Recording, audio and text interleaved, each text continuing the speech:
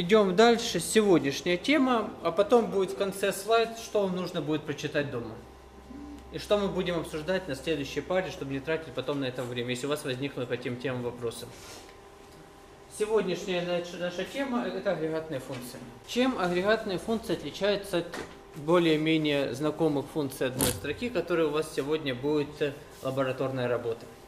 Лаборатор... Э, функция одной строки мы принимаем на вход одно значение или сколько там значений, 2, 3, 4, сколько нужно параметров функции есть, и оно ровно одно значение возвращает. Привычные для нас из математики синус, косинус, вот она, одно значение число подставили, одно значение вернулось.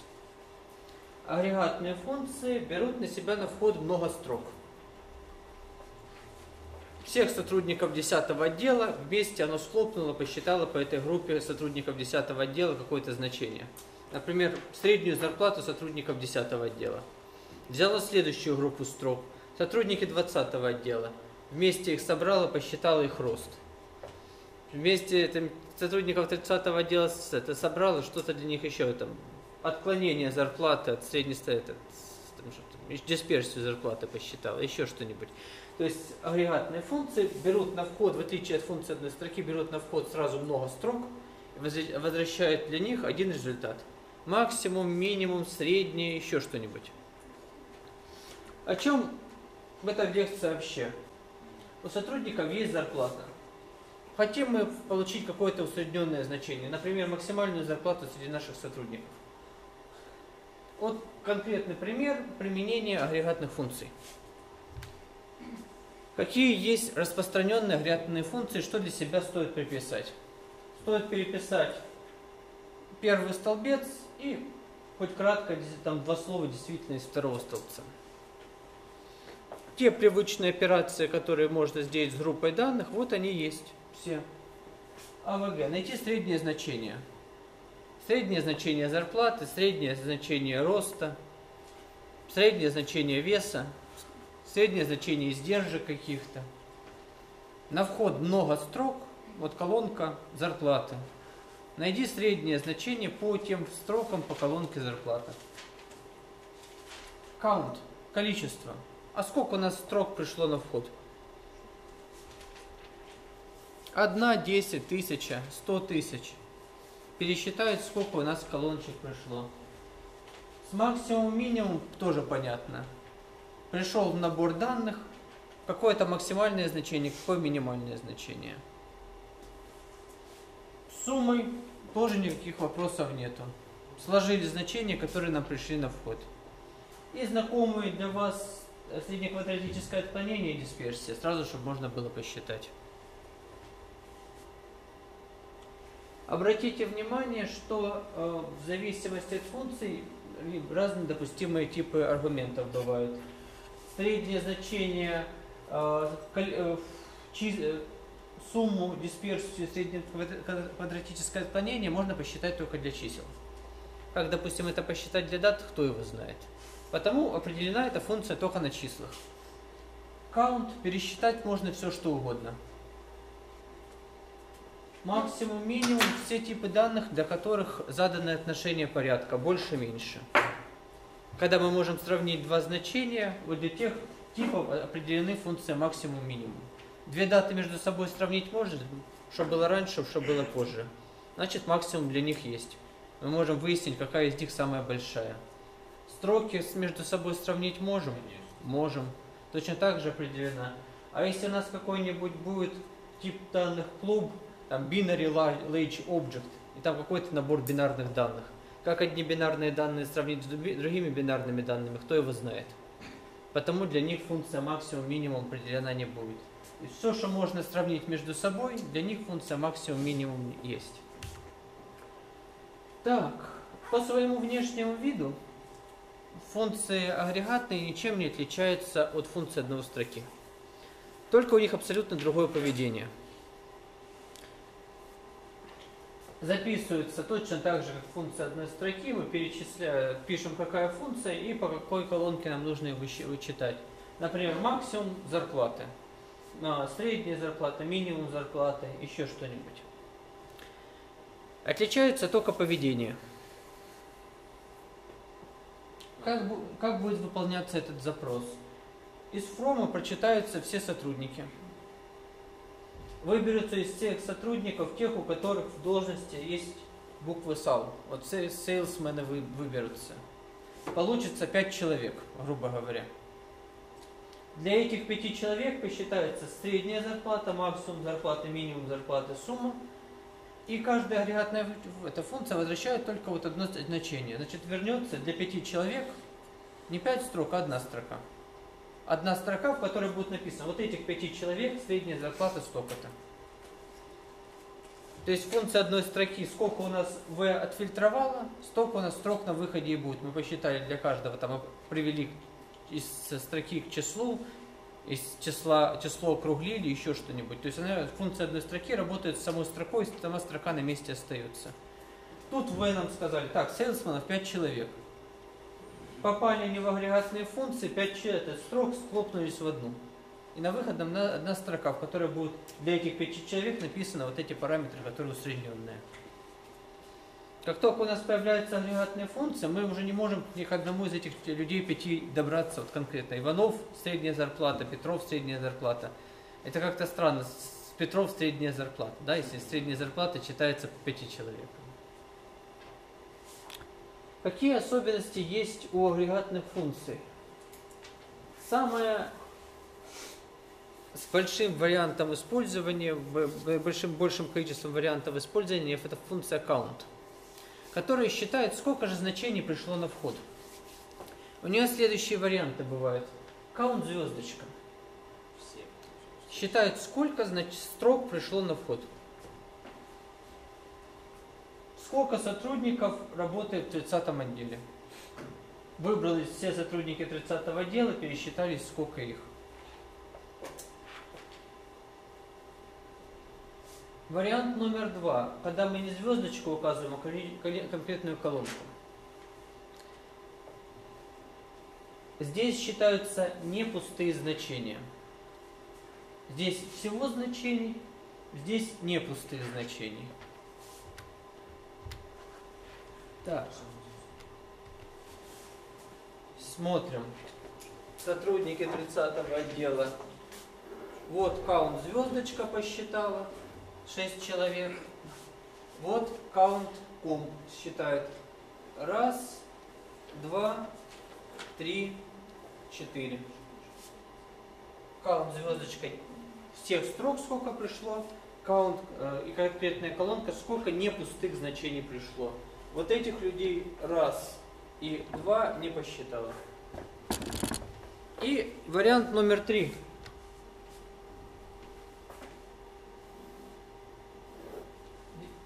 Count, distinct и какие-то колонки.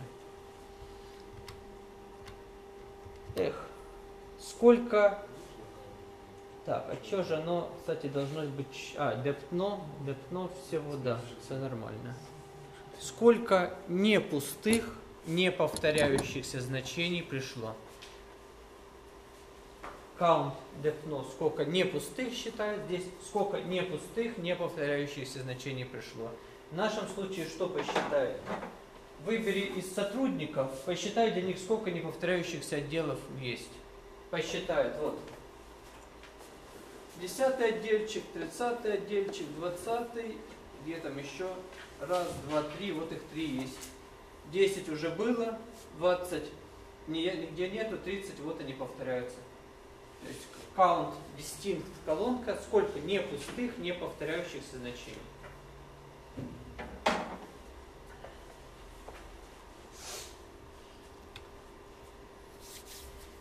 Все остальные агрегатные функции ведут себя с пустыми значениями, те, которые null, точно так же, как count и просто колонка.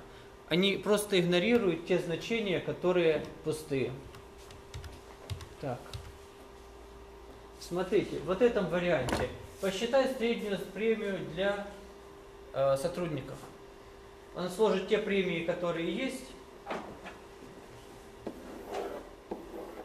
и разделит на их количество.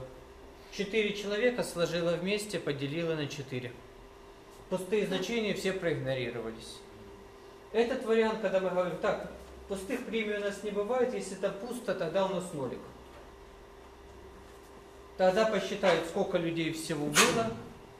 Там, где пустые значения заменит ноликом, посчитает уже среднее значение для всех людей. Агрегатные функции пустые нул значения просто игнорируют. Если нам не нужно их игнорировать, пользуемся той же функцией NVL, той же функцией Caris, которая обрабат умеет обрабатывать пустые значения. С этим понятно? Еще какие-то комментарии нужны?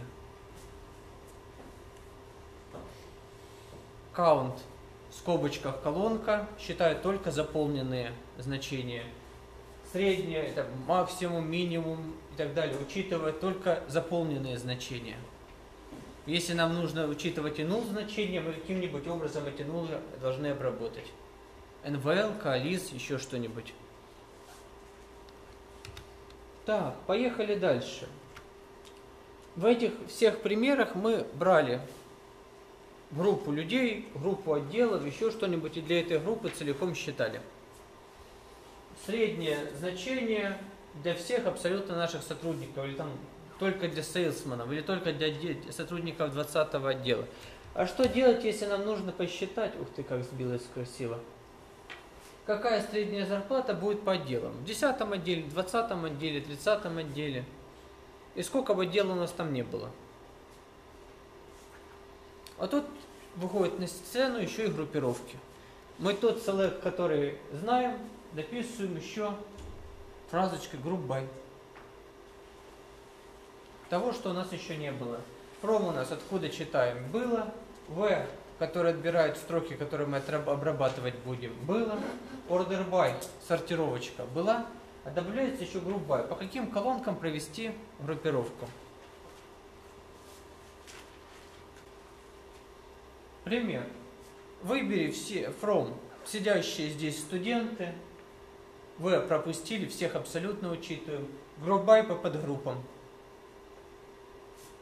Select подгруппа, запятая средний рост. Возьмет студентов группы PM21 дробь 1, для них посчитает средний рост. Возьмет студентов 21 дробь 2, для них посчитает средний рост. Select from студенты, сидящие в этой аудитории. Всех абсолютно вы пропускаем.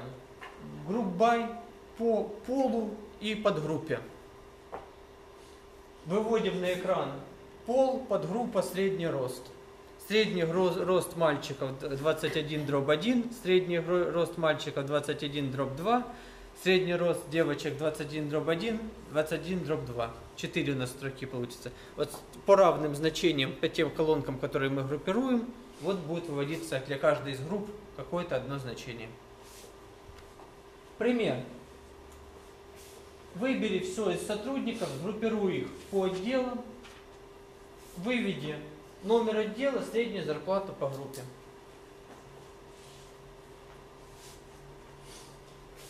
Все сотрудники, у которых ДЭПНО 10 в одну группу пойдут, все сотрудники, у которых ДЭПНО 20 в другую, и так далее по каждому конкретному значению они разобьются на группы. Для каждой из группок мы посчитаем среднее значение. Видим уже 10 отдел, в 10 отделе средняя зарплата такая-то, в 20 отделе средняя зарплата такая-то. На что здесь особое внимание нужно обратить? Все, что написано, как только у нас появляется какая-то группирующая функция, все, все, что написано в select без группирующей функции, должно появиться в group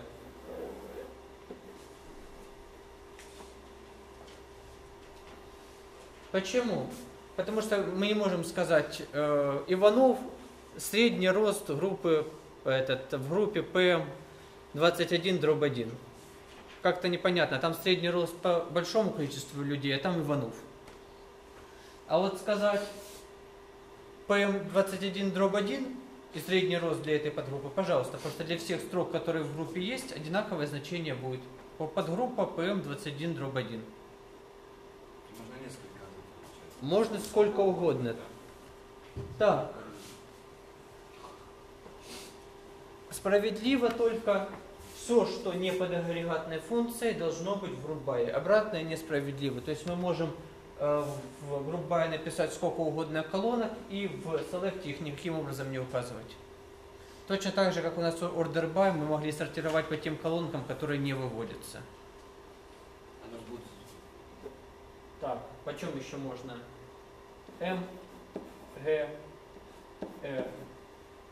Сгруппируй всех людей по отделам и менеджерам. Все э, этот, люди 10 отдела с менеджером King в одну кучку, все люди 10 отдела с менеджером Blake в другую кучку и так далее по всем значениям разбилось. Для каждой из этих групп посчитай среднюю зарплату. Так, что у нас есть? Так. Вот как раз пример, когда у нас группировка по нескольким параметрам. Как нам посчитать, э, в каком из отделов менеджеры получают больше? Группируем по номеру отдела и по джобу. И смотрим, что у нас получилось.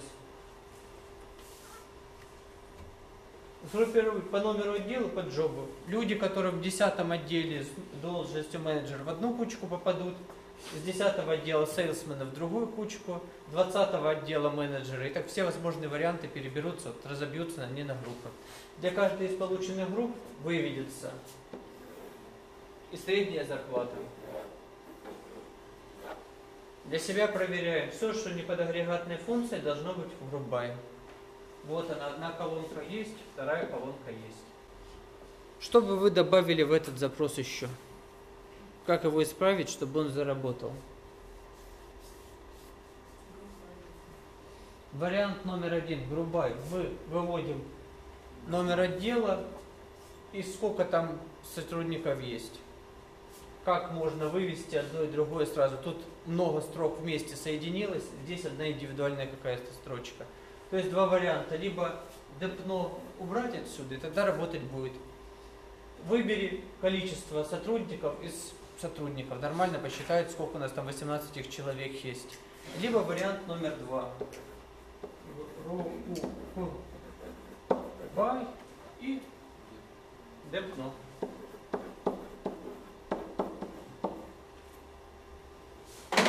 Давайте немножко потрени- потренируемся. Попробуем найти, э, а сколько у нас получают э, сотрудники, средняя зарплата по должностям. Сколько получают в среднем менеджеры, сколько в среднем получает президент, сколько в среднем получают э, кто там еще, клерки и так далее. Как нам написать такой запросик? Подскажите.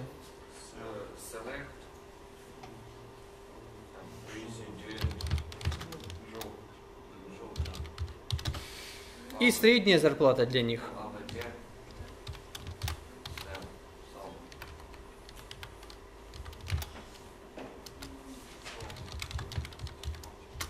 И что? Ох, ну ладно. Ничего страшного, сейчас мы к ней вернемся. Ах. Так, сейчас. Edit.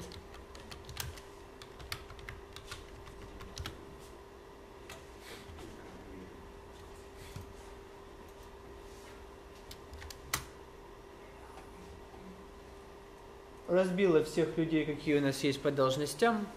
Потом, пожалуйста, мы можем order by написать. Это с учетом мула она считала на общее. Нет, Там есть нет. А давайте посмотрим.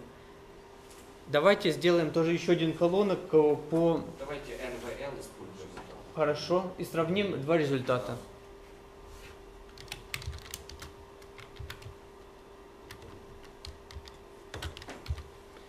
Ну там тут у нас будет не очень показательно, потому что все зарплаты заполнены. Давайте мы сюда еще добавим э, премию. Эх. АВГ. А там же э, комп иногда нужен. Да, вот там будет э, Надо по- сделать. так будет пустое значение для всего сотрудника просто. А, да. Что-то плюс неизвестно сколько. 5 плюс неизвестно сколько, в результате неизвестно сколько. Эх.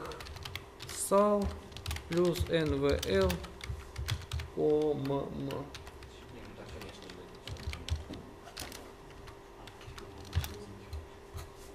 Так. Ну, давайте, чтобы было виднее, еще попробуем среднюю премию просто и среднюю премию а, НВЛ 0. Так. Так. АВГ. Ком. АВГ. НВЛ.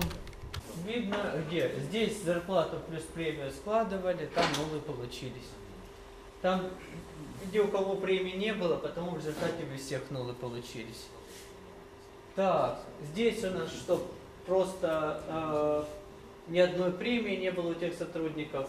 Там дальше у нас премии заменились на нули и нормально посчиталось. То есть при своей работе агрегатные функции нул значения просто не учитывают. Можно э, самому, там есть же ж библиотеки какие-то или что, можно самому прописывать агрегатные функции?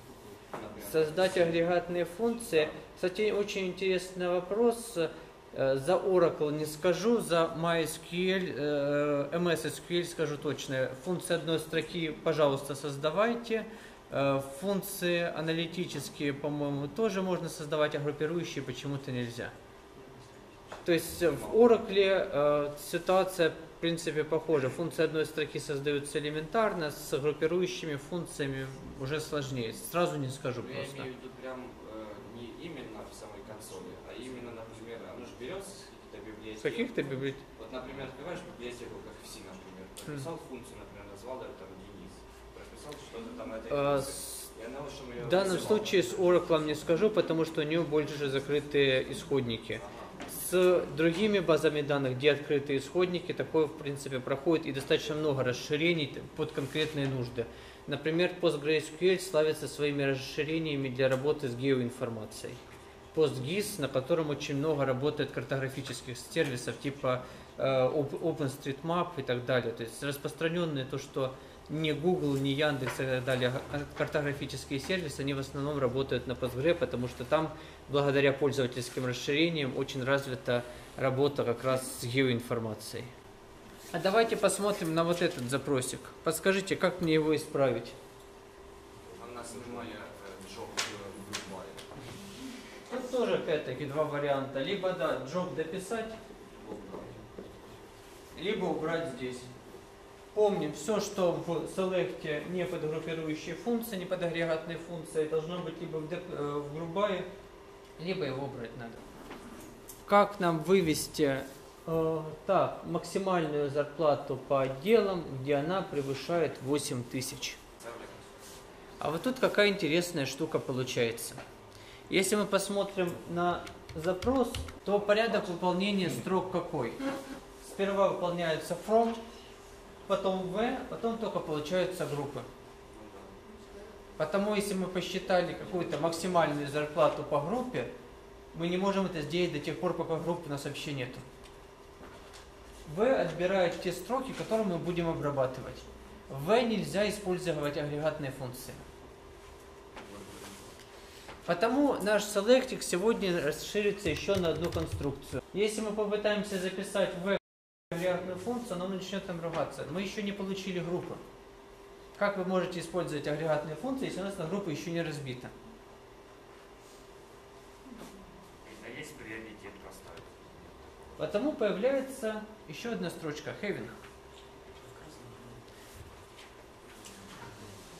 Having это то же самое, что в, только работает после того, как группы получились. Having не может добраться до конкретного Иванова, Петрова, Сидорова, которые есть в, в в сотрудниках. Having уже работает с полученной группой. Все сотрудники 10 отдела. Для Хевинга хорошо, она может с этими всеми сотрудниками 10 отдела что угодно делать. Считать сколько их, максимально, минимально. Не обязательно это даже указывать в селекте. Смысл этого? From. Говорим, откуда мы читаем.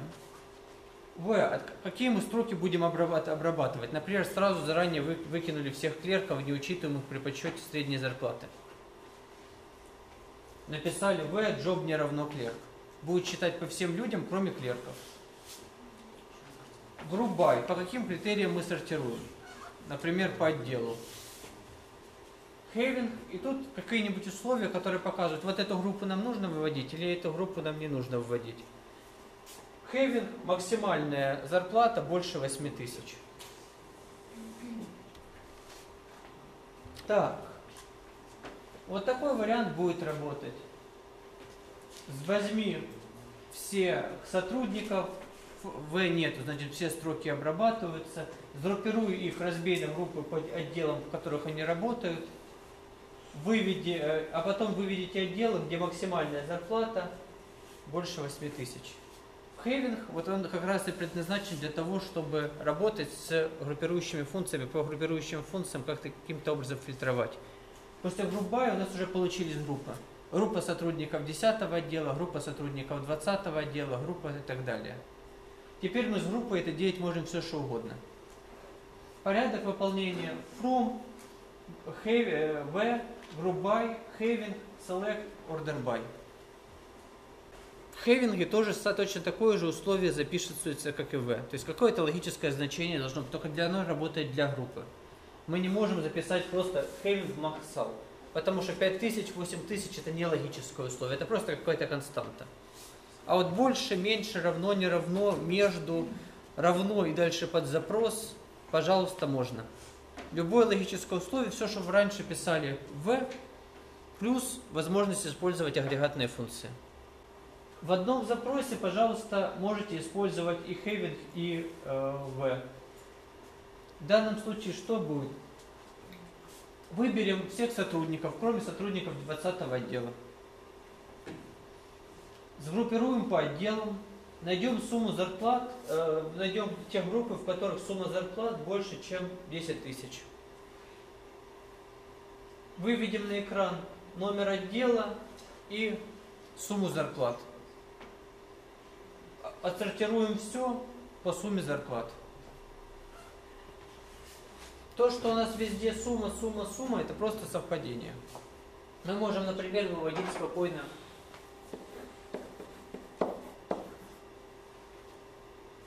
фильтруем по сумме зарплат, выводим среднее. Никаких проблем нету. В принципе, в этом примере мы вполне могли написать вот это перенести сюда.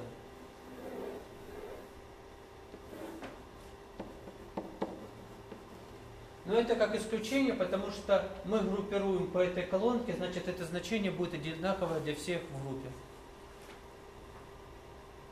По какой-нибудь другой колонке, например, по джобу, мы бы уже так сделать не смогли. Если мы откидывали клерков, допустим, то мы не смогли бы это сделать, потому что это какие-то индивидуальные значения для каждой строки. Хейвен уже до них добраться не может. Ну а депно в данном случае она будет одинаковая для каждой группы. Одна группа депно 10, другая группа депно 20 и так далее. Просто по этому значению мы группировали. Пример, где перенести бы уже не получилось. Всех, кроме служащих 20 отдела и кроме президента. Вот этих людей нам не надо. Для них считаем одно другое, выводим третье.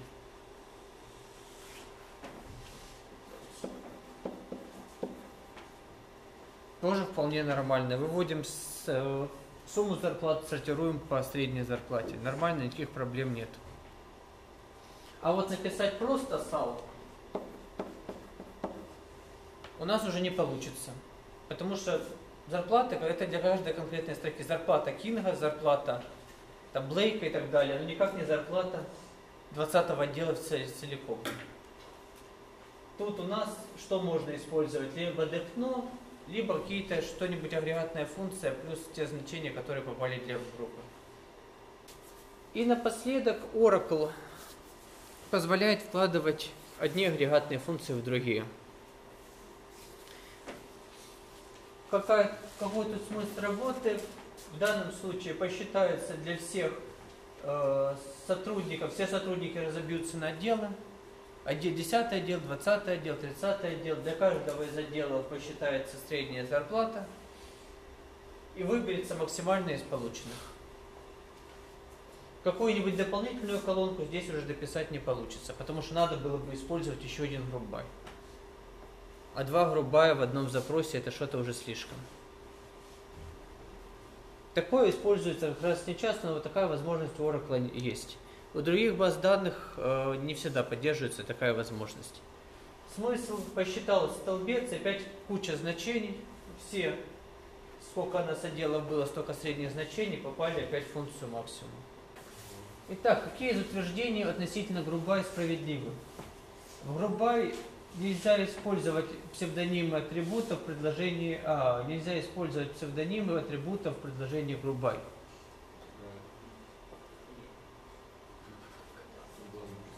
Как, что это сделать что-нибудь типа а, какого-нибудь, это назвать А, а потом его в группу бай поместить. Можно так делать нельзя, если даже у нас максимума не было? Нельзя, потому что выполнение from, v, by, having, а потом только select. Select выполняется после того, как получились группы. То есть тех псевдонимов, которые у нас введены, он просто груба еще не видит. Потому псевдонимы э, столбцов использовать нельзя действительно. Нельзя. Так, все столбцы, указанные в грубай, должны быть указаны в select. Неправда. Пожалуйста, мы можем группировать по отделам, а выводить просто среднюю зарплату. И не, а номер отдела не выводить. Понятно. Так, условие В применяется к строкам до того, как получены группы. Сперва, какие мы строки обрабатываем, это нам сдает условие В. Условие хейвинг применяется к строкам после группировки. Получили группы, с помощью хейвинга мы можем отбросить только те, которые, оставить те, которые нужны. Предложение грубай задает порядок сортировки строк. Порядок сортировки строк мы можем сдать только с помощью order by. И с помощью ну, операций над множествами, которые вы не прочитали. Подводим итоги. Что у нас сегодня получилось? У нас добавился by, который позволяет разбить все строки, которые приходят на отдельные группы по каким-то критериям. И Хейвинг, который умеет отбрасывать группы лишние. Здесь больше комментариев, чем какое-то рассмотрение. У нас там немного слайдов осталось. Смотрите, иногда получ... надо сделать какой-то э, промежуточный итог. Сказать, сколько зарабатывают люди по каждому из отделов и сколько зарабатывают люди по каждому отделу э, и должности сколько зарабатывают люди, менеджеры 10 отдела, сколько зарабатывают сейлсмены 10 отдела в сумме, и сколько люди вообще все 10 отдела зарабатывают. Вот такую какую-то ведомость сводную получить. Это можно сделать с помощью операций над множествами, которые вы не прочитали. Но есть другой вариант. Использовать роллап или куб. Роллап что делает?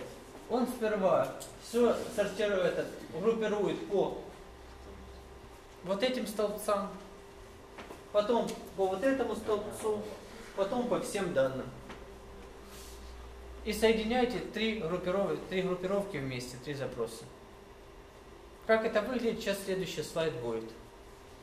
Куб чуть более умный.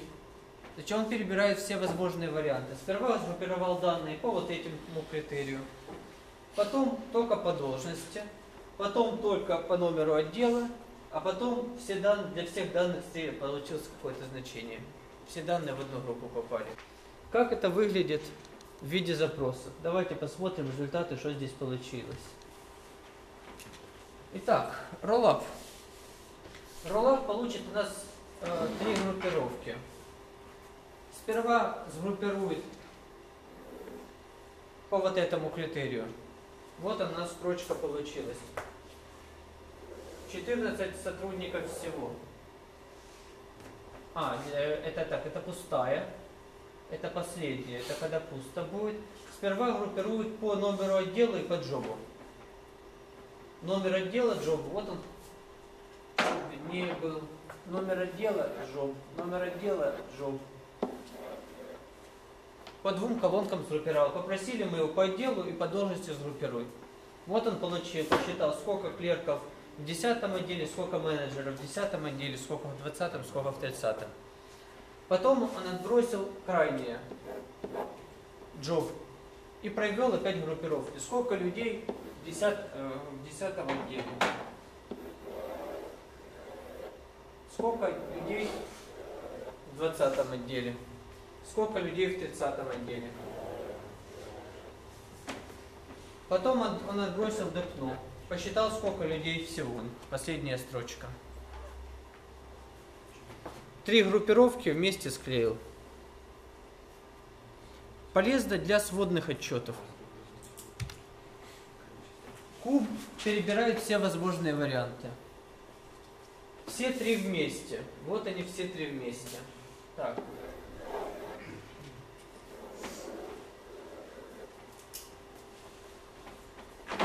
Потом отбросил, только по джобу сгруппировал. Вот они по джобу сгруппированные. Потом дальше продолжает перебирать. Сгруппируя как по депно. Вот они по депно сгруппированные есть данные. Потом отброшу-ка я все. И депну и так далее. Все. Сгруппирую по всем критериям. Вон сверху он 14 получились. Какой у нас незанятый цвет получился. Все возможные варианты. Если бы у нас было не две колонки, а три колонки, он бы сперва попарно перебрал бы. Там, не знаю, еще какую-нибудь колонку А. Было бы э, по трем колонкам сгруппировать, сгруппировать по депно джоб, депно А, джоб А, потом по каждой из отдельных из них. Деп- По, по депно, только по джобу, только по А. И все вместе три склеить. Собственно, вот оно на слайдах и показано. У нас роллап это то же самое, что сделать юнион э, запрос, сгруппировать по двум колонкам, по, по второй, по первой колонке, которая по ведущей, по все вместе сгруппированные. Там все возможные перебирают, пере- перебраны, а потом вместе склеены. Будет больше колонок, будет больше группировок. Будет три колонки, он сперва отбросит первую, потом вторую, потом по третьей оставится. На практиках вы это попробуйте. Будет там кусок, целый слайд с запросами, которые с роллапами, с, этот, с кубами работают. И более продвинутый вариант – это группин сет. Группин сет говорит явно, по каким группам нужно нам произвести э, группировку, а потом результаты склеить. То есть с помощью группин сет можно сделать то же самое, что можно сделать и с помощью куба, и с помощью роллапа, только чуть больше написать придется. При э, использовании группин сет очень важно, как мы расположим скобочки. Вот этот вариант говорит, у нас нужно сделать только одну группировку. Другой вариант скобочек, только одни. Значит, нам нужно сделать группировку по этому, по этому, по этому и вместе склеить. Как-то по-другому скобочки. Он увидел, так, вот у меня две группы. Одна группа, вторая группа. По ним нужно сгруппировать, вместе соединить. То есть, когда групп, группин сет используете, внимательно смотрите, как расставлены скобки. Скобки задают, а по каким критериям нам нужно группировать наши данные. Когда у нас да, группировки такие используются, возникает вопрос, а как определить, вот конкретная строка ко мне пришла, по какому критерию она была сгруппирована? Только по вот этому, или по вот этому, или как-то по третьему. По каким критериям была сгруппирована эта строка, как получена была эта группировка, чтобы как-то подписать. Для того, чтобы это реализовать, есть две замечательные функции.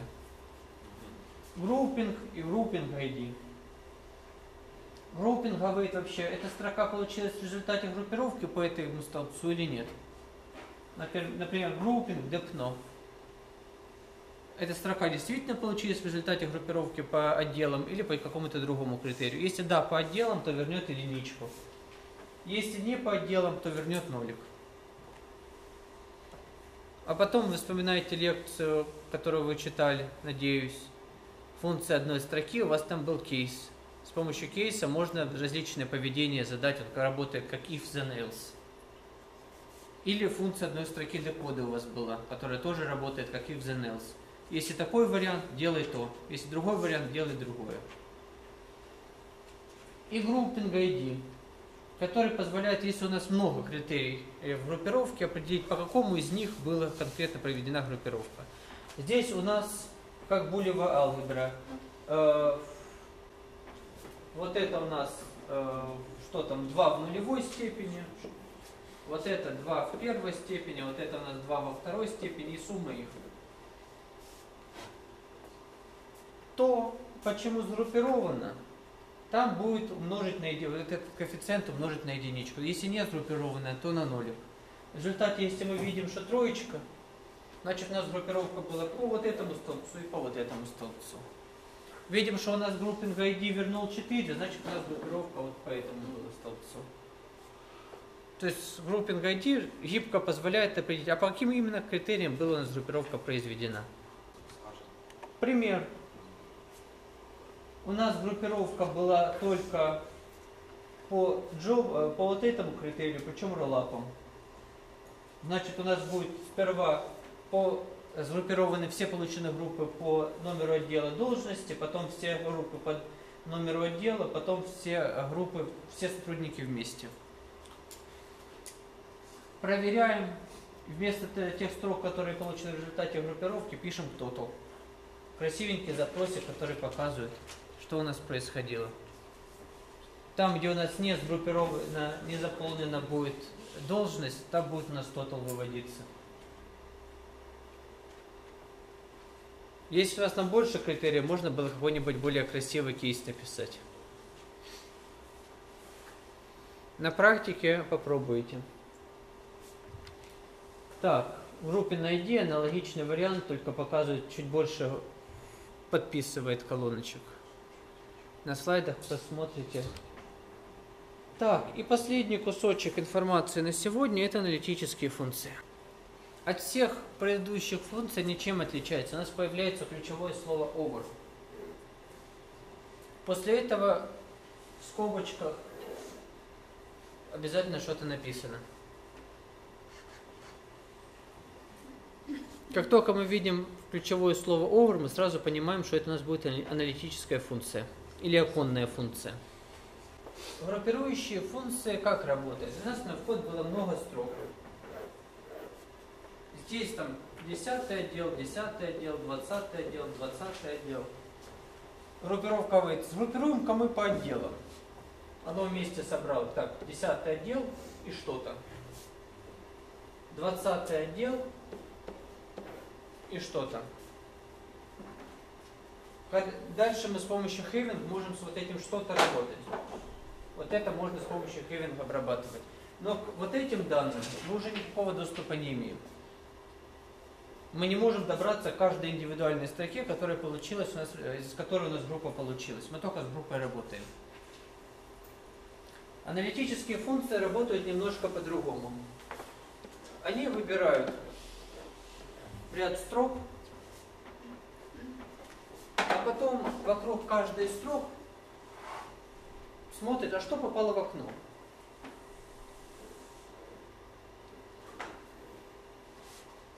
И для вот этих строк, которые попали в окно, могут делать какое-то усреднение. Применять конкурирующую функцию только для вот этого окошка. И вот эта строка остается на месте, и усредненные данные по тем строкам, которые попали в окно. То есть мы можем добраться до каждого индивидуального значения, до зарплаты Кинга, до зарплаты Блейка и так далее. И до зарплаты сотрудников этого отдела одновременно. И по тому критерию, и по тому критерию. Потому аналитические функции обычно работают немножко медленнее. Пример типичной э, э, группирующей функции в том виде, в котором действительно его очень удачно и очень легко использовать, и другими средствами здесь трудно обойтись. Функция ранг, которая просто говорит, а какая по счету эта строка внутри окошка.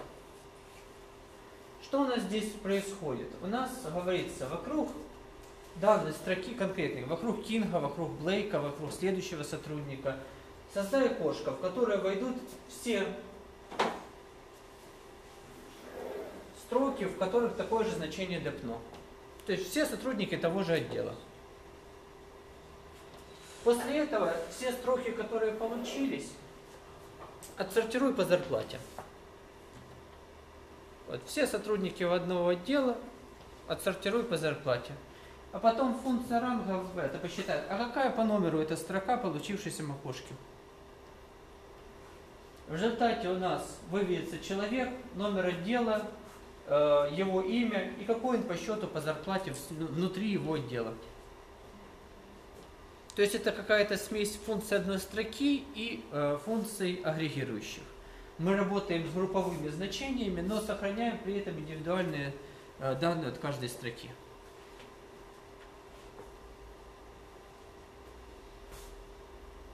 Смотрите на слайде, что у нас две функции есть.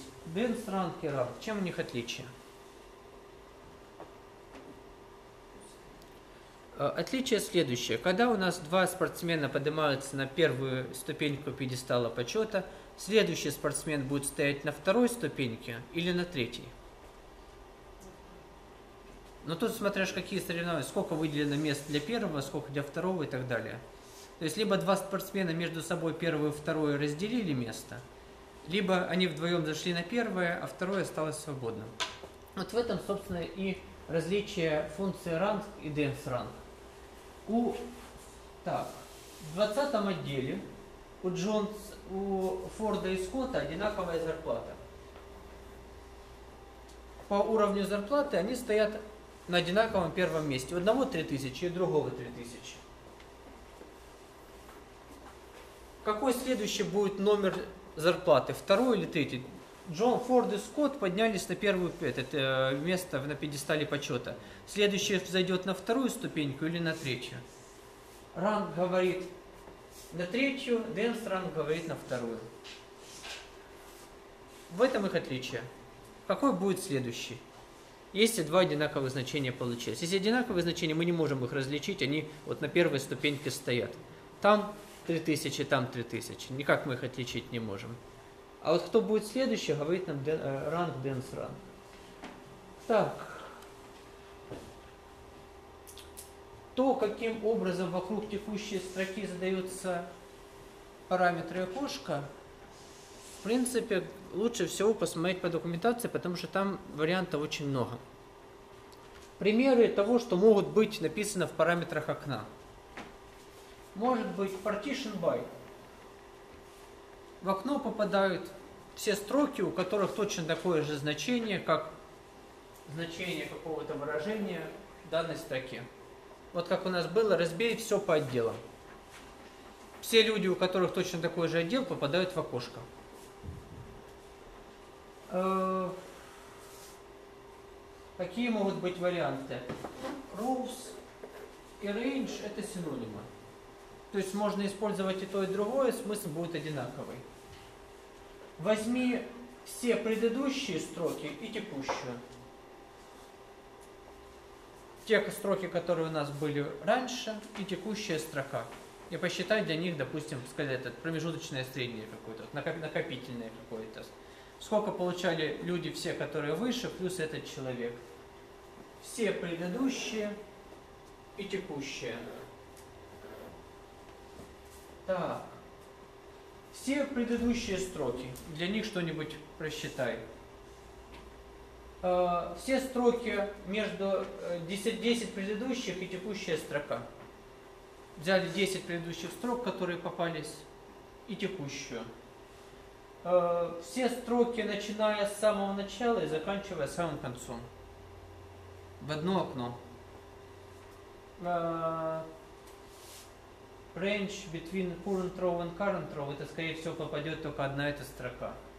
То есть на самом деле, видите, вариантов, каким образом задать окно, очень много. Это либо все одинаковые значения, и по этому значению все строки попадают в окошко. Либо пересчитываем, сколько это строк до, сколько это строк после. Сколько до, сколько после мы задаем в параметрах окна. Такие варианты используются реже это какие-то аналитические отчеты. Какая-то средняя накопительная сумма, там скользящая средняя, еще что-нибудь. Partition by используется, ну, чаще, намного чаще. Э, что стоит заметить, что оконных функций внутри одного запроса может быть очень много. Сколько нам надо, столько может их быть. Пожалуйста, мы выводим имя человека и его номер по порядку. А номер по порядку как? По возрастанию зарплаты, по убыванию зарплаты, по номеру отдела. По разным критериям, по разным критериям нам ранг подсчитается. вокруг каждого из рамков будет создано окошко, в которое попадут все строки, отсортированные по какому-то параметру. И посчитается, какая по номеру строка здесь будет. Где вот этот ранг используется достаточно активно? Давайте посмотрим. У нас для того, чтобы вывести первые пять сотрудников по уровню зарплаты, какой бы запрос мы написали? Мы попросили его, Oracle, так, нам нужно сотрудники, сотрудники по, отсортированные по зарплате, нам нужно только первые пять. Вот так нам показалось правильные, вот так мы написали. Какая проблема? Выполняется в порядке. Сперва читаем, потом фильтруем, потом сортируем. В результате какой бы у нас был ответ? Выбралось 5 строк, потому что мы попросили 5 строк. Полученный результат отсортировался. То, что там где-то были люди 3000, он и не знает. Потому что выбралось только 5 строк, то, что попросили мы то он и сделал. Где-то люди с тремя тысячами зарплатами исчезли.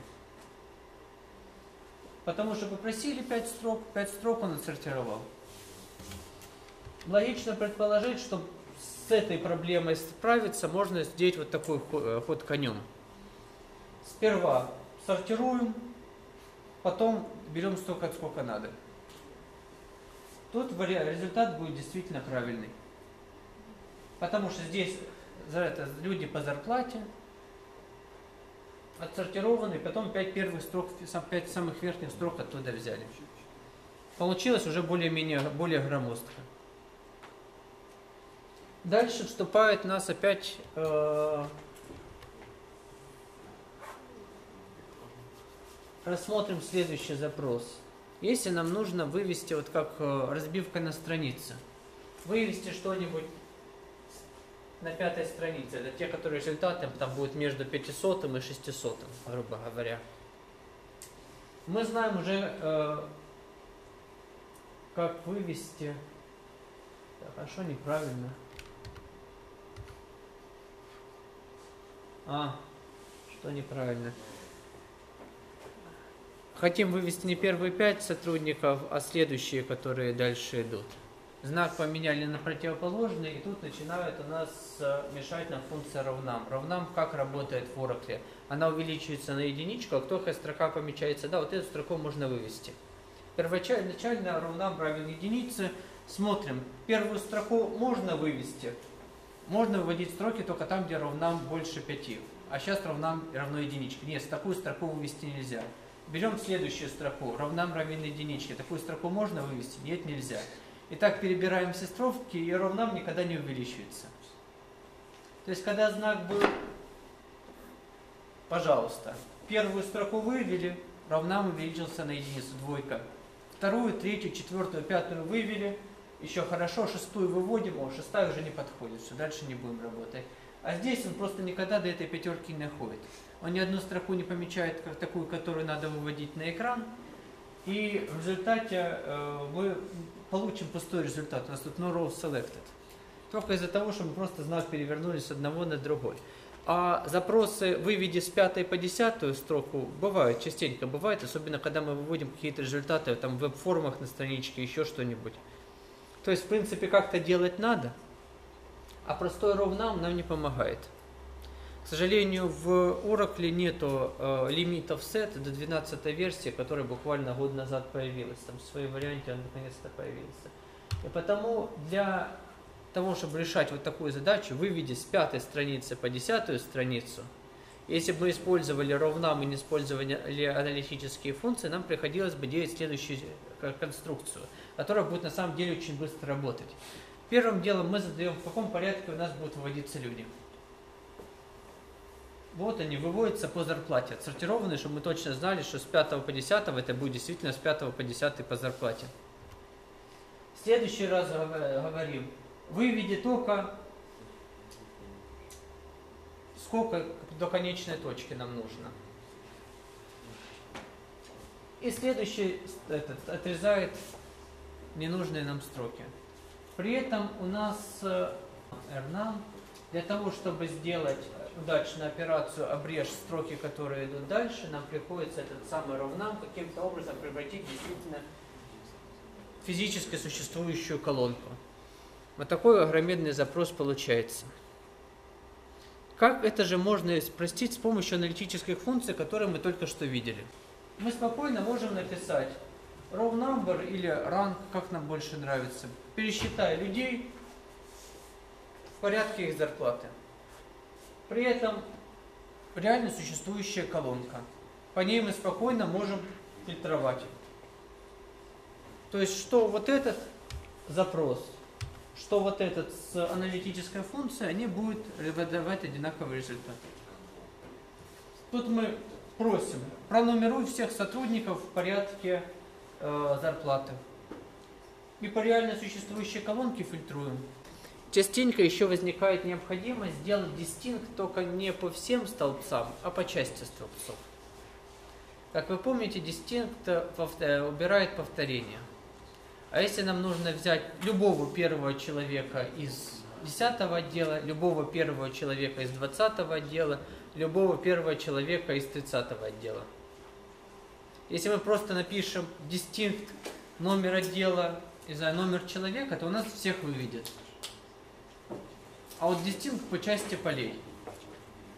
Некоторые базы данных позволяют сказать, по каким полям нам дистинг нужен здесь, но каким образом отбрасываются все повторения, мы не знаем.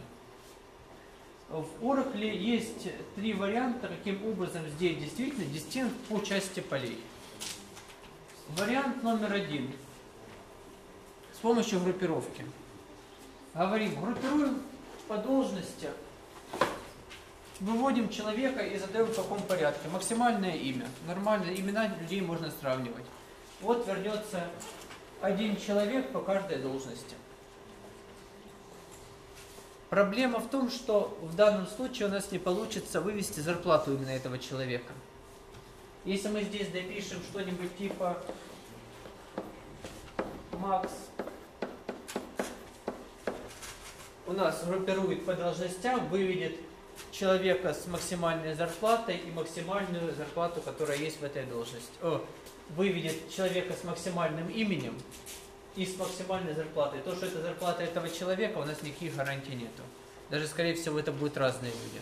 У нас же просто группа строк есть, группой строк мы работаем. Максимальная зарплата из колонки, максимальное имя. То есть не получится. Но как вариант очень быстрый на самом-то деле. Если нам нужно показать только одну колонку, работает великолепно.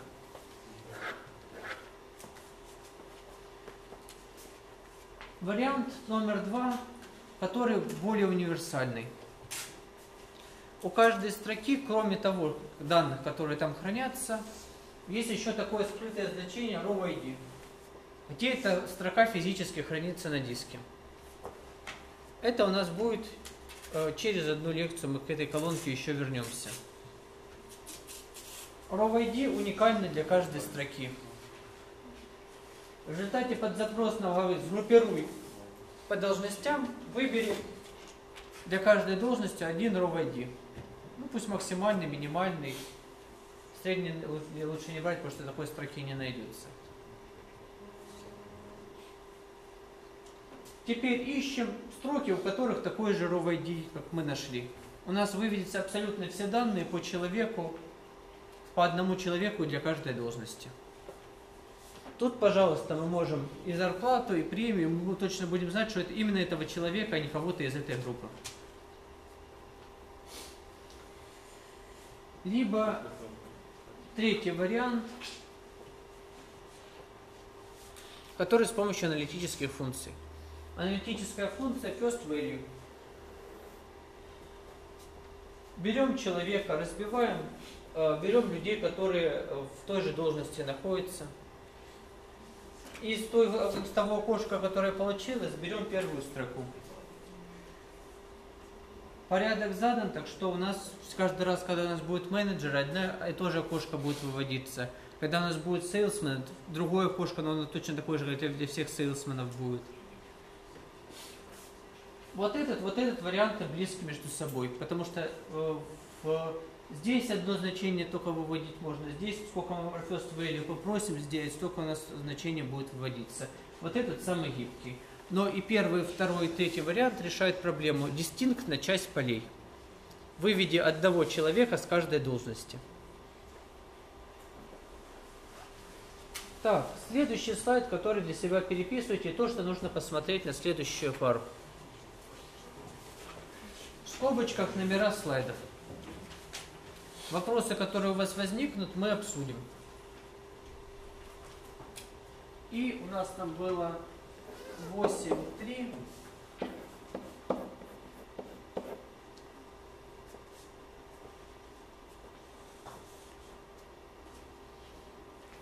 Операция над множествами.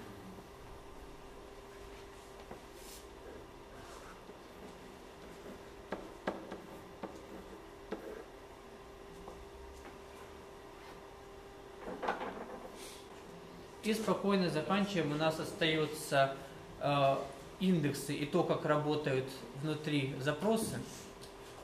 У нас остается транзакция, как много пользователей могут работать одновременно. У нас остаются метамодели, как данные, у которых переменная структура, можно хранить внутри реляционной базы данных. На этом